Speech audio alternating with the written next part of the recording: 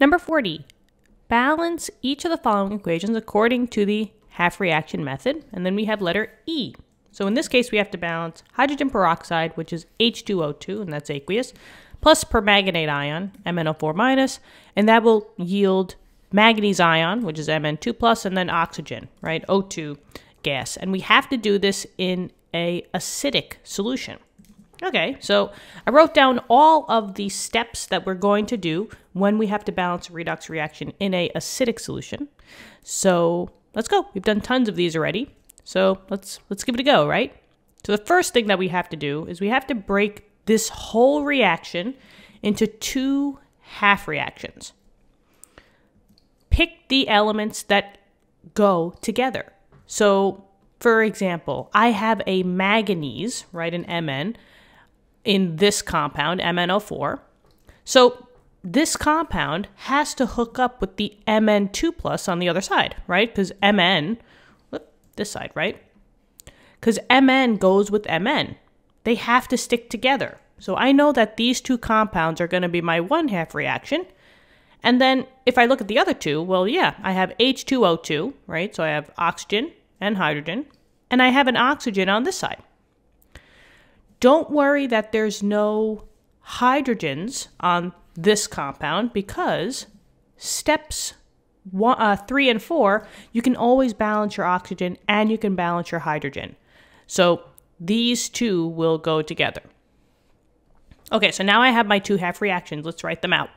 So we have H2O2, and that's aqueous, and that will yield O2 gas. And then we have the MnO4 minus aqueous yields uh, Mn, 2 plus. That's aqueous. Okay, so step one's done. Now for step two, we only balance all of the elements except hydrogen and oxygen here. So we can't look at the hydrogen and oxygen. We can only look at all the other elements. There's only one that I see here, right? I see on the on the bottom one I have an Mn, manganese on the left, and I have a manganese on the right. I can't touch any of the hydrogen and the oxygen, so I don't even care about this reaction right now. And just know that when you're doing these steps, guys, do the steps for both uh, reactions at the same time. Just makes it easier. So let's see. I have one Mn on the left side. I got one Mn on the right side. So that's all balanced. So this step is already done for us. We checked it. It's already balanced. We move on to the next. The next step is to always balance oxygen. So just remember oxygen comes before hydrogen if we're doing these steps. So we balance oxygen by adding H2O. And here's a trick. If you want to balance or if you need to add one oxygen to either side, you're always going to add it in terms of H2O. So it's a one to one ratio. So if you need two oxygens, you'll add two H2Os, three oxygens, three H2Os. Now I'm going to go and look at the top equation because I have oxygens here. I have an oxygen on the left side and I have an oxygen on the right side. Let's see how many I have. Well, on the left side, I have two, right? And on the right side, I have two. So in this case, it's balanced. I don't have to balance the oxygen. That's already done for me. Now I'm going to work on the bottom. I see that I have an oxygen here. And how many? Well, I have four of them, right? How many oxygen do I have on the right side? I have none. So I need to balance, right? I need to have four.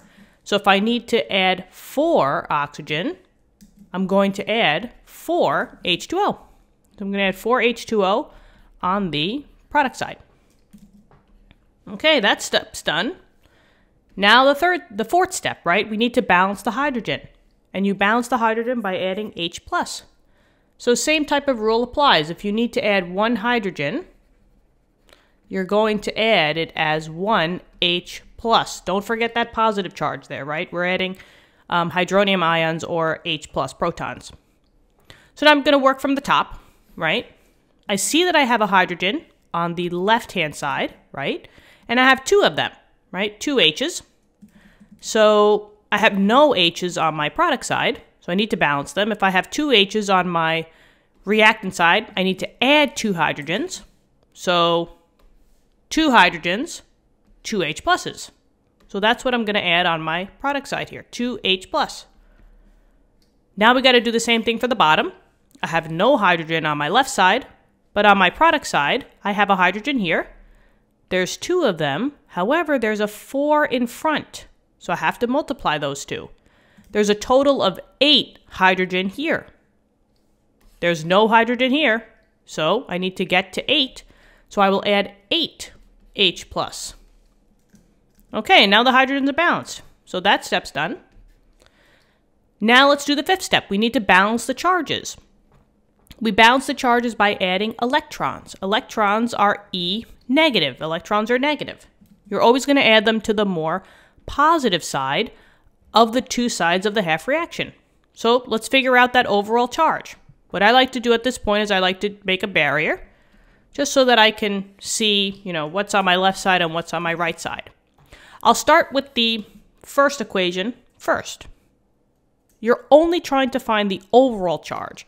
So only look in the upper right-hand corners. But for H2O2 and O2, right, I don't see any numbers. You see how for H I have a plus? That's a charge, right? You see there's a charge down here for the negative, and then there's a charge over here, right? But some of them don't have any numbers. If it doesn't have a number, it's neutral that means that it's it has a zero charge. It's not positive nor negative. So both H2O2 and O2 uh, will have zero charges. And then anything times zero is zero, right? So it doesn't matter that I had a number in front of here, right? Four times zero is zero, but in this case I just had one. It's the only compound, so I have a overall charge of zero on the left-hand side. But now here on my product side, I have two different things. So I just have to make sure I add the total charge up. For O2, I know that that's a zero charge. But now for the hydrogen, I have a plus, right? And that means that it's a plus one charge. But there's two of them. So I have to multiply. The overall charge coming from here is a plus two. And now we just add these together, right? These compounds were added together, so I need to add the numbers together. So 0 plus a positive 2 is a plus 2. And that is the overall charge for the right-hand side. So now I just compare. Which side is more positive? Because I need to add electrons to the more positive side. Well, this side is more positive, right? So I know that I'm going to add electrons to the product side, but how many? Well, you want to get it down to the more negative side, right? And if I just bring this number over here, how many numbers on a number line is 2 from 0? 2, right? So that's how many electrons that you add. And now both of the charges are 0. We do the same thing for the bottom. Let's see. Working from left to right, I see that I have a plus. That means it's a plus 1 charge. But I have 8 of them. So 8 times a plus 1 is an overall positive 8. And this is being added, so plus. We have MnO4, there's a minus, which means minus 1. There's only one here, so the overall charge would be a negative 1. And now we have to add the two together. 8 plus a negative 1, aka 8 minus 1, is a positive 7. Okay, now let's see what the overall charge of this one is. Well, we have a 2 plus here, right? And there's only one of them, so this would be a positive 2 plus. Now, here I don't see a charge. So neutral, it's zero. Zero times four is zero, so it doesn't really matter. And then plus two plus zero is a plus two. Which side is more positive? This side. So I know that I have to add electrons to my left side, my reactant side, but how many? Well, how many numbers difference is 7 from 2? Yeah, five numbers, right? Or 7 minus 2, if you think of it on a number line. So I have to add 5 electrons. And now this step is done. Now before we balance the electrons, I'm just going to get rid of some of this work just to make it not as intimidating looking. The math was only to, to just add the electrons, but then after that we don't need any of this work. So I'm just going to clean it up a little bit. Okay. Okay, there we go. Now for the next step. We have to balance those electrons. We have to make the electrons that we added the same number. And just know that this is a good checkpoint. The electrons that you added should be on opposite sides. This two electrons can't be on the same side as the other electron. Okay, so if you had like something like this, right? Go back. Something happened. They need to be on opposite sides. Okay.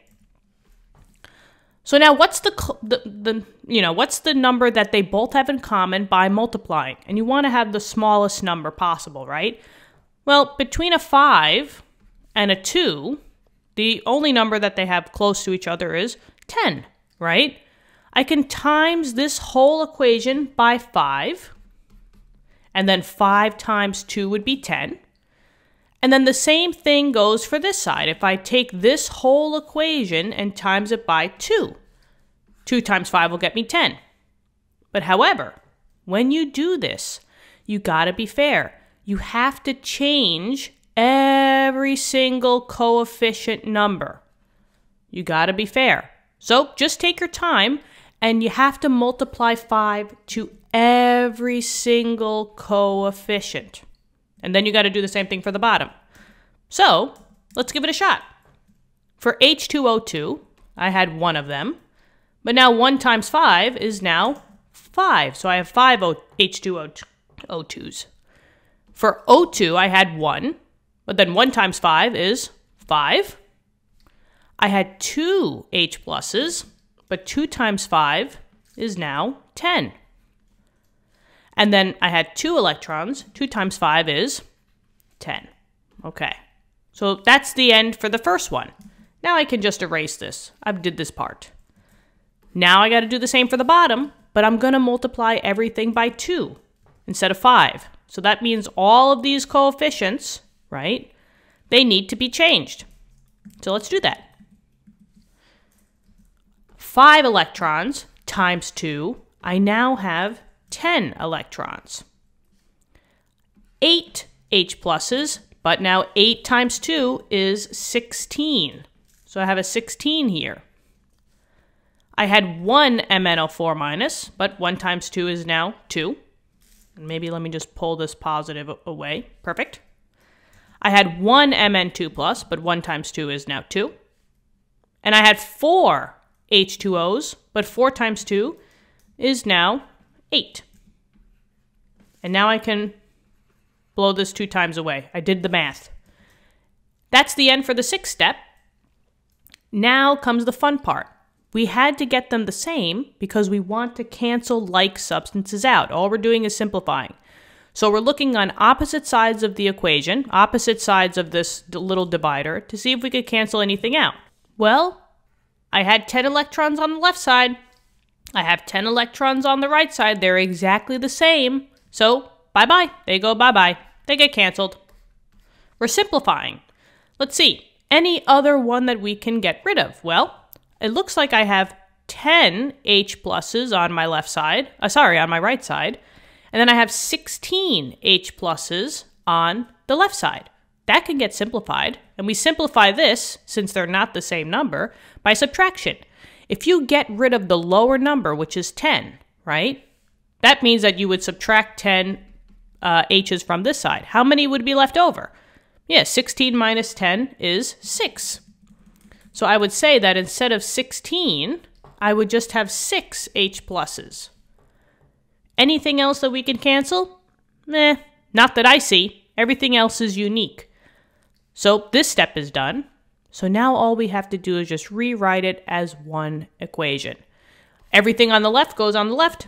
Everything on the right goes on the right. It doesn't matter what order you do.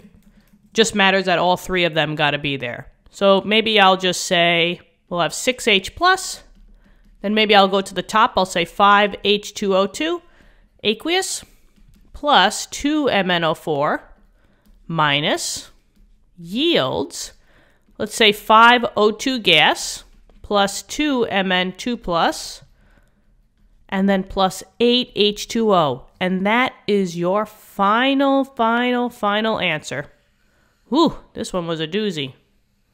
Okay, So, guys, hopefully this helped. Let me know in the comments what you thought. Um, yeah, subscribe to the channel if you'd like.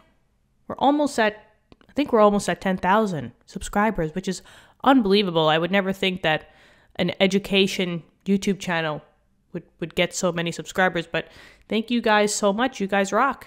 It's awesome. Um, yeah, let's keep learning. Learning is fun. Chem is fun. And if you need help with physics or math, we got that as well. Go check those videos out in our channel. And I'll see you in the next lesson. Bye bye.